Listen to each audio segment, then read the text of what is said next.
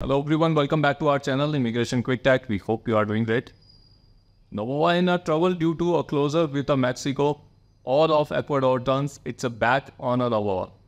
Ecuador is currently facing significant political and economic turmoil as President Daniel Noboa grapples with a fuel crisis, an electoral complaint, and a critical oil embargo. From Mexico on May 28, the TCE continues Electoral Court decided to process a complaint against Noboa for alleged electoral violation of filed by a citizen Manuel Passages on May 2022. Uh, the complaint, although procedurally questionable, has intensified political instability. Presidential advisor Diana Jacob dismissed the complaint as a politically motivated attack designed to destabilize the government, compounding the Goa problem.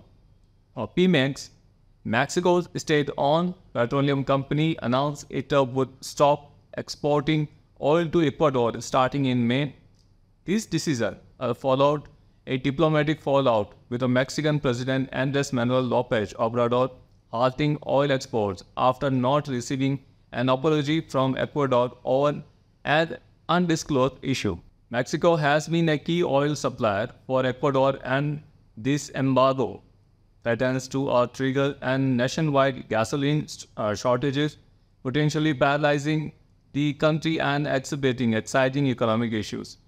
The immediate economic implications are severe, with the potential fuel shortages likely to increase transportation costs and overall prices, thereby worsening inflation, although Jacob attempt to uh, minimize uh, Pemex importance by stating Ecuador procedures.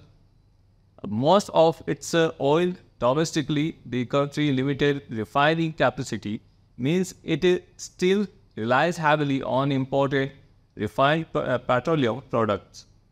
Public support for Noboa has significantly eroded due to these crises.